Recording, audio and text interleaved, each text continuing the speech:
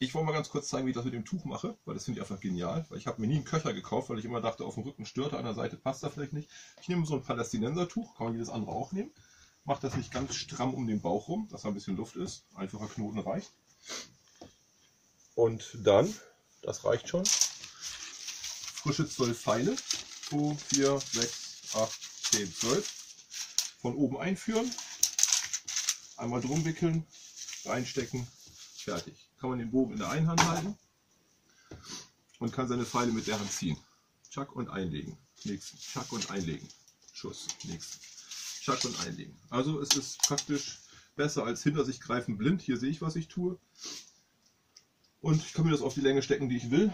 Rutscht nichts, wackelt nichts, bleibt wo es ist. Kann ich mich mit bewegen, habe freien Schuss, nichts nervt. So, was haben wir, wenn ich damit schieße?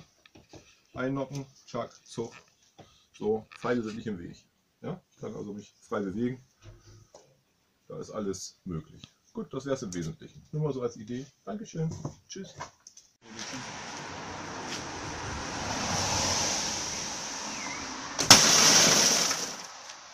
Das war der Beste.